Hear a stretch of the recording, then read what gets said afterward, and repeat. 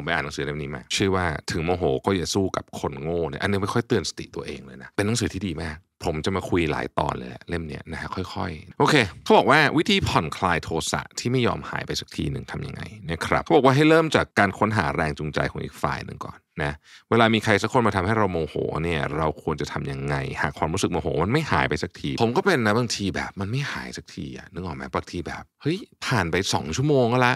ครึ่งวันก็ละ นอนตื่นมาอีกวันนึงก็ยังโมโหอยู่อย่างนี้เนี่ยนะคือถ้าเป็นหมวดเนี้ยก็ต้องมานั่งคิดกันละนะครับในหนังสือเขาก็บอกว่าโอเค แต่ละคนก็คงจะมีวิธีการจัดการกับความรู้สึกที่แตกต่างกันออกไป นะครับแต่เขาบอกว่าหนึ่งในวิธีที่ดีที่สุดคือให้เริ่มค้นหาแรงจูงใจของอีกฝ่ายหนึ่ง อย่างที่กล่าวไปก่อนหน้านี้ว่านะครับการแสดงปฏิกิริยาตอบสนองอย่างรวดเร็วหรือตอบโต้ไม่ใช่เรื่องดี อันนี้ผมเห็นด้วยมาก เวลาโมโหไม่ควรตอบโต้นะฮะวิธีที่ดีที่สุดถ้าเกิดคุณไม่ไหวจริงๆนะครับให้โทรหาเพื่อนครอบครัวหรือใครก็ได้แล้วระบาย แต่อย่าไปตอบโต้กับคู่กรณีเฮ้ยอันนี้เป็น key เลยนะคือระบายก่อนให้มันจบก่อนนะครับเพราะฉะนั้น keyword สำคัญมากก็คือว่าห้ามตอบโต้ทันทีตอนโมโหอย่าเด็ดขาดนะฮะเพราะเราจะพลาด และถ้าเป็นในกรณีที่แบบเป็นเรื่องของการฟ้องร้องกันทางกฎหมายนู่นนี่ต่างๆนานาพวกนี้เนี่ยก็ต้องห้ามตอบโต้เด็ดขาดเลย เพราะว่านิ่งไว้ก่อนฮะเพราะว่าพวกนี้ทั้งหมดเนี่ยเป็นประจักษ์พยานที่จะถูกนำไปใช้ ภายหลังทั้งสิ้น ห้ามตอบโต้ห้ามตอบโต้นะครับในกรณีที่ฝ่ายทำตัวแยากๆกับเราหนทางที่ดีที่สุดก็คือ หาทางรู้แรงจูงใจให้ได้นะครับการฝึกตัวเองให้คิดเช่นนี้เนี่ยเป็นประโยชน์ในหลายสถานการณ์นะครับอีกอันหนึ่งเนี่ยเขาบอกว่ามาพูดถึงคำแนะนำอันแสนวิเศษที่ผมได้ฟังมาจากรุ่นพี่ดีกว่านะครับเขาบอกว่าแม้จะนึกภาพไม่ออกแต่รุ่นพี่คนนั้นบอกว่าตัวเขาเองเนี่ยเคยเป็นคนอารมณ์ร้อนมาก่อน เปลี่ยนไปด้วยพละกำลังและความรู้สึกรักความถูกต้อง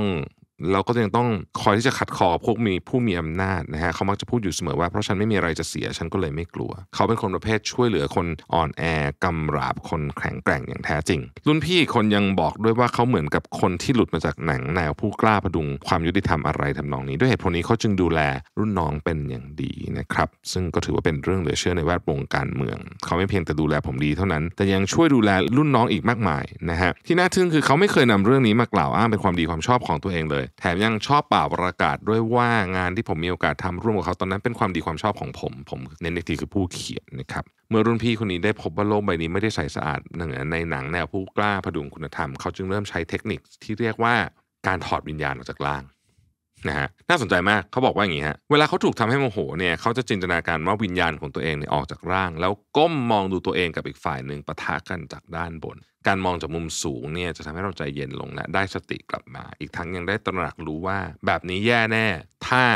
เราไปตอบโต้นะฮะเดี๋ยวจะต่อยเอากันเอาอะไรประมาณนี้แม้ว่าการพิจารณาตัวเองจากมุมสูงในตอนที่มีความรู้สึกโมโหกำลังเอ่อล้นจะต้องใช้เวลาในการฝึกฝน แต่ถ้าทำได้ก็จะผ่อนคลายโทสะได้อย่างมีประสิทธิภาพนะครับแล้วถ้าคุณค่อยๆ ฝึกบ่อยๆ ก็จะสามารถทำได้เป็นธรรมชาตินั่นเอง ยิ่งไปกว่านั้นเนี่ยเทคนิคนี้เนี่ยนะครับยังไม่เพียงมีประโยชน์ในเรื่องการป้องกันไม่ให้เกิดการต่อสู้ที่เปล่าประโยชน์เท่านั้น แต่ยังใช้ประโยชน์ในตอนที่ต้องการให้การพูดครั้งสำคัญประสบความสำเร็จอีกด้วย ตัวอย่างเช่นตอนที่เรากำลังนำเสนองานหรือว่าพูดบรรยายเรื่องสำคัญ ถ้าใช้เทคนิคถอดวิญญาณออกจากร่าง ก็จะช่วยให้เรามีมุมมองมุมเดียวกับผู้ฟังที่นั่งอยู่ตรงหน้าเรานะฮะและมีความรู้สึกเหมือนว่าตัวเองเป็น ฐานะผู้ฟังแทนนั่นเอง เมื่อเป็นแบบนี้แล้วเราก็จะไม่รู้สึกตื่นเต้นกับเรื่องที่ต้องการจะนำเสนอนะครับ แถมยังสามารถถ่ายทอดเรื่องราวมาได้ดี เพราะจับจุดที่ช่วยเพิ่มอารมณ์ร่วมให้กับผู้ฟังและควบคุมความเร็วที่เหมาะสมได้นะครับ การทำเช่นนี้ต้องฝึกฝนนะ แต่ว่าจะเป็นอาวุธที่สำคัญที่ช่วยให้เราโลดแล่นในเส้นทางชีวิตได้อย่างสนุกสนานและไม่ตึงเครียดนะครับ เทคนิคนี้ราวกับเหมือนกับว่าทำให้เรามีดวงตาอีกดวงหนึ่งไว้ใช้มองตัวเองนะฮะเราเรียกมันว่าตาที่ 3 ก็ได้ ก็หวังว่าตอนนี้จะช่วย ให้ใครก็ตามที่กำลังโกรธคน หรือว่ากำลังโมโหคนที่แบบทำร้ายคุณอยู่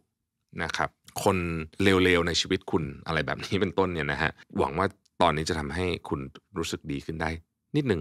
นะครับ